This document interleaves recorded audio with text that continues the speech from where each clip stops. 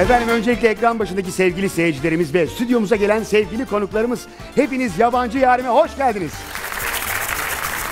Nasıl gidiyor? İyi mi? Her Gayet şey iyi yolunda gidiyor. mı? Ağlamak üzereyim ama. Sen daha önce hiç yapmadın mı bu işi? bir Hayır. Evet, evet sonuna kadar yapalım. Evet, ha gayret. Bravo, çevir, çevir, çevir. Süreyi durdurduk.